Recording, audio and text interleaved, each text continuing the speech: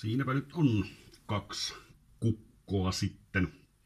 Tuo on se, johon laitoin sitä sipuliakin. Vähän sen.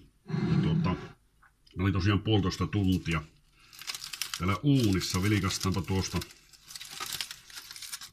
että miltä näyttää.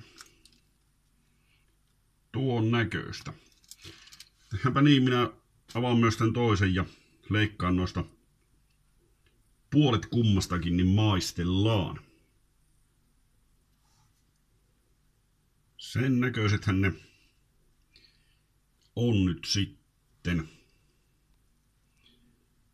Tuossa on tuo normi niin sanotusti ja tuossa on sitten jossa on sitä sipulia.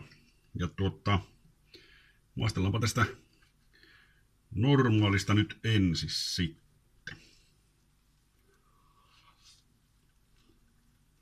Mhm.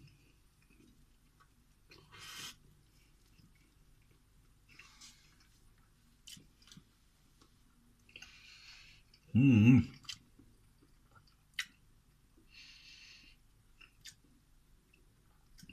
No.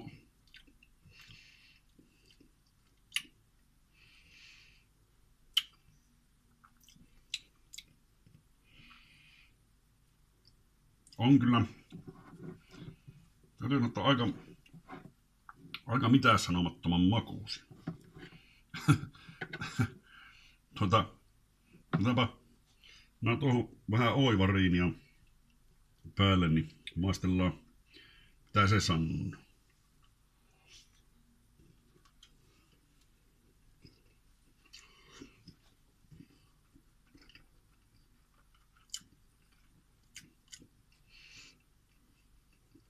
Maku paranee.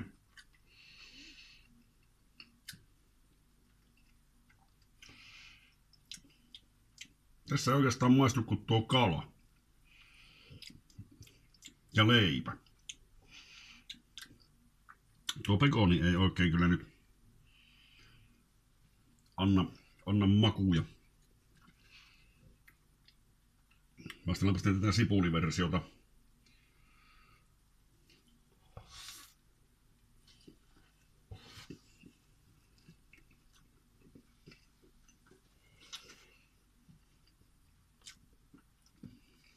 Kuuma.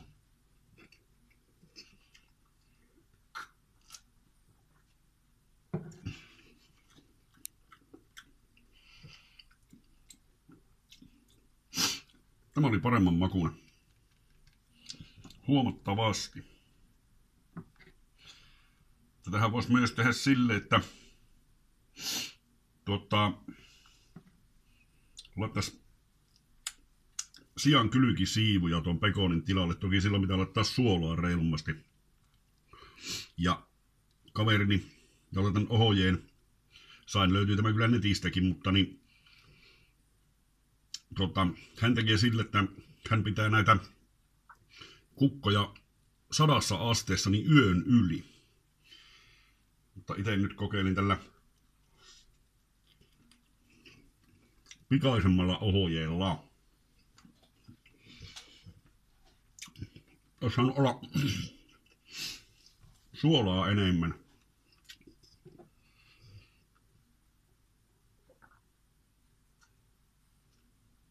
Mutta tuota,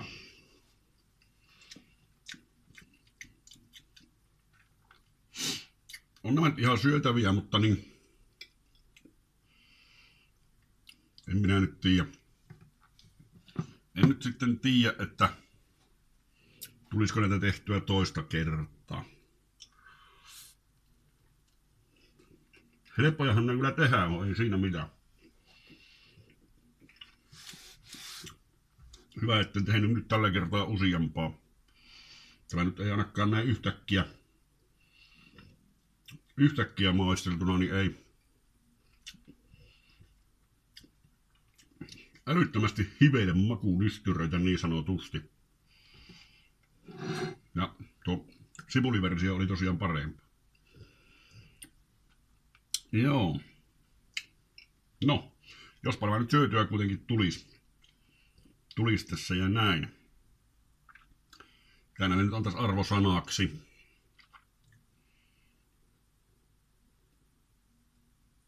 Annetaan 2 kautta 5. Itse tehdy, niin voi, voi antaa minkä vaan arvosana. Annetaan nyt 2 kautta 5 näille. Ja tuota, näin. Ja tuota, tänäänhän tuo ystäväni, joka, jolta sain tämän ohjeen alun perin, niin tuota, hänellä on tänään syntymäpäivä. Riittäin paljon onnea pyöritten vuosien johdosta. En nyt sano paljonko hänellä tulee täyteen, pyöreitä kuitenkin.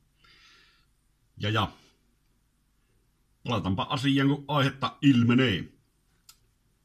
Nämä kuvat ja nämä tunnelmat. Se on moro.